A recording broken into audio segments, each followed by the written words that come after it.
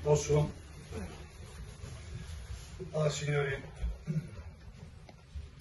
Andrea Soli ha deciso di dimettersi. Questo lo ha fatto per la Ternana, lo ha fatto perché ha detto che l'allenatore Lucarelli aveva fatto un gran lavoro, la squadra era stata costruita per lui e sicuramente se l'è costruita lui insieme a Leone. Sicuramente Andreazzoli ha fatto un lavoro importante, un lavoro secondo me che poteva anche andare avanti, ma Andreazzoli è un uomo di calcio ed è un uomo che non dice mai io sono un uomo, ma è un uomo vero.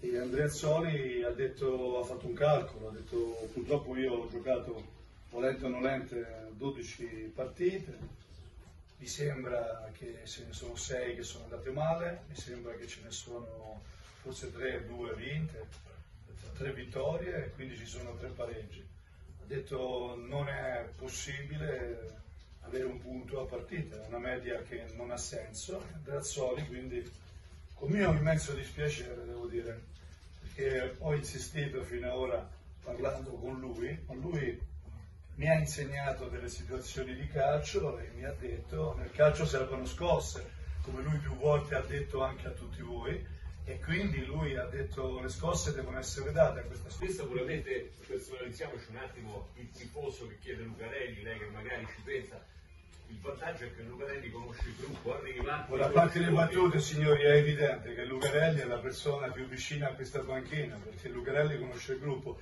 Ora, con serietà, l'analisi che ha fatto Andrea, non è un fattore di tempo, l'analisi che ha fatto Andrea Zoli è un'analisi matura, forse un'analisi da direttore sportivo e da presidente. Andrea Zoli ha detto l'unico che oggi secondo me si può dare una mano a gestire le cose è Lucarelli, punto, ora basta, cioè, l'abbiamo detto, insomma, la mia è una battuta, al 99%, ma è evidente che chiamerò Lucarelli, cioè non è che posso chiamare il signore che sta qui, gli sto anche antipatico, no? no. Cioè, Presidente.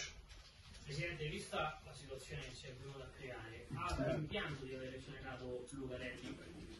Scuso? Ha un rimpianto di aver esonerato Lucarelli? Non ho capito. Vista la situazione che si è venuta Guardi, Andrea Zoi lavora 8 ore al giorno qua dentro. Prima di venire Lucarelli deve firmare la seconda lettera, se no non viene. Ti piace questa cosa? La modifica Non è la modifica, è una cosa facile, deve lavorare. Lucarelli è andato via perché non c'era qualcosa che a me non piaceva. Quindi se Lucarelli rivede le sue posizioni viene, se no si dimette e non viene. Però per venire deve vedere le sue posizioni. Pensi che è condizione fantastica, io lo pago tutti i mesi. Ora io spero che telefonandogli lui mi dica di andare a fanculo, per da buon permesso. E quindi non vuole venire. Se viene qua deve imparare quello che c'è da fare. La squadra aveva delle lacune le lacune erano forti e le hanno viste tutte. Lui deve aver imparato la lezione. Le lezioni si imparano nella vita. Quando non si vince si deve imparare. Lui è stato esonerato perché non ha fatto ciò che doveva fare il bravo allenatore, quello che ha vinto la Serie C.